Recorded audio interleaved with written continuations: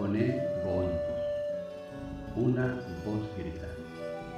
Dejémonos conducir en el desierto de nuestras vidas por la doctrina y la vida de nuestros padres en la fe.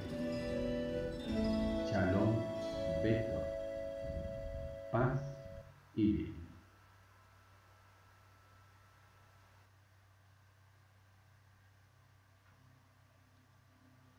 De la homilía de un autor del siglo II.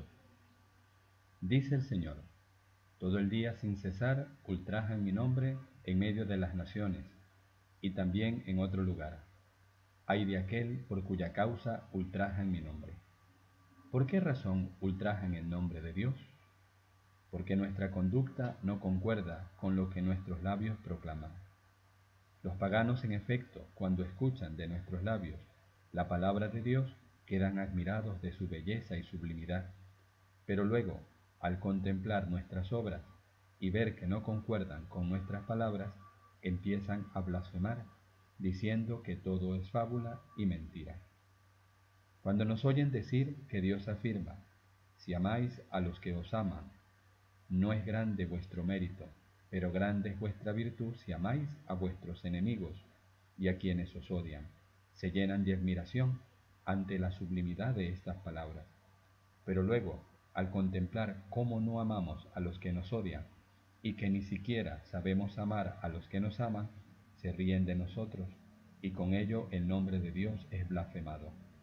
Así pues, hermanos, si cumplimos la voluntad de Dios, perteneceremos a la iglesia primera, es decir, a la iglesia espiritual que fue creada antes que el sol y la luna. Pero si no cumplimos la voluntad del Señor, seremos de aquellos de quienes afirma la Escritura, habéis convertido mi templo en una cueva de bandidos. Por tanto, procuremos pertenecer a la iglesia de la vida para alcanzar así la salvación. Creo que no ignoráis que la iglesia viva es el cuerpo de Cristo. Dice en efecto la Escritura, creó Dios al hombre, hombre y mujer los creó el hombre es Cristo y la mujer es la iglesia. Ahora bien, los escritos de los profetas y de los apóstoles nos enseñan también que la iglesia no es de este tiempo, sino que existe desde el principio. En efecto, la iglesia era espiritual como espiritual era el Señor Jesús, pero se manifestó visiblemente en los últimos tiempos para llevarnos a la salvación. Esta iglesia, que era espiritual, se ha hecho visible en la carne de Cristo mostrándonos con ello que si nosotros conservamos intacta esta iglesia por medio de nuestra carne, la recibiremos en el Espíritu Santo, pues nuestra carne es como la imagen del Espíritu, y nadie puede gozar del modelo si ha destruido su imagen. Todo esto quiere decir, hermanos, lo siguiente, conservad con respecto vuestra carne, para que así tengáis parte en el Espíritu.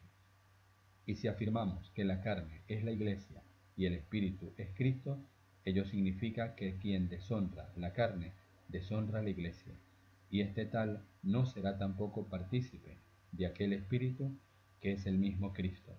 Con la ayuda del Espíritu Santo, esta carne puede por tanto llegar a gozar de aquella incorruptibilidad y de aquella vida que es tan sublime, que nadie puede explicar ni describir, pero que Dios ha preparado para sus elegidos.